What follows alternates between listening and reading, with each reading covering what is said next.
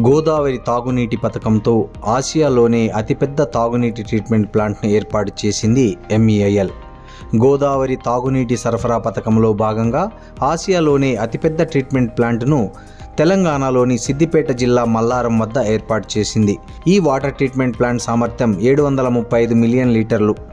హైదరాబాద్ నుంచి సుమారు రెండు వందల ఇరవై ఐదు కిలోమీటర్ల దూరంలో ఉన్న పెద్దపల్లి జిల్లా అంతర్గాం మండలంలోని శ్రీపాద ఎల్లంపల్లి ప్రాజెక్టు నుంచి గోదావరి జలాలను సేకరించి వాటిని సిద్దిపేట జిల్లా మల్లారంలోని ఈ నీటి శుద్ధి కేంద్రంలో శుద్ధి చేసి హైదరాబాద్ ప్రజల దాహార్తిని తీరుస్తున్నారు.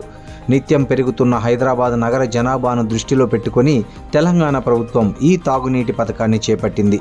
ఎల్లంపల్లి ప్రాజెక్టులో నూట ముప్పై ఒక్క మీటర్ల వద్ద నీటిని ఎత్తిపోసి ఆరు వందల ఇరవై ఐదు మీటర్ల ఎత్తులోని ఘన్పూర్ రిజర్వాయర్కు తరలిస్తారు.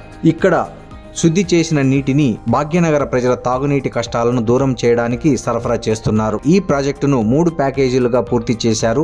ఇక్కడ శుద్ధి చేసిన నీటిని హైదరాబాద్ ఔటర్ రింగ్ రోడ్డు సమీపంలో గల గన్పూర్కు తరలిస్తారు. ఇందుకోసం గన్పూర్ వద్ద నూట యాభై ఎంఎల్డి సామర్థ్యంతో మాస్టర్ బ్యాలెన్సింగ్ రిజర్వాయర్ను కూడా ఎంఈఐఎల్ ఏర్పాటు చేసింది.